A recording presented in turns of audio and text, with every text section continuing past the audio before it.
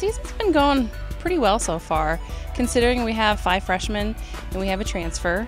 We've just got two years to grow with these freshmen, and I feel like uh, the team's going to grow really strong with uh, five freshmen. We still have a long way to come, and as players, we're really going to grow and become stronger. And so I feel like we're going to be really successful in the future.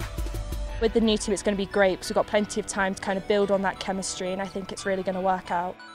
Team goals have always been to, um, you know, show up, compete hard, um, and a big thing for us is everyone on the team needs to bring something to the table. We've competed. We've competed hard in majority of our matches.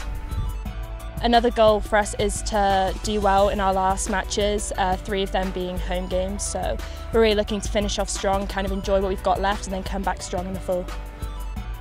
We've put up a good fight against number one in conference NAU, um, and we've also won the doubles point off Idaho, so we've done pretty well.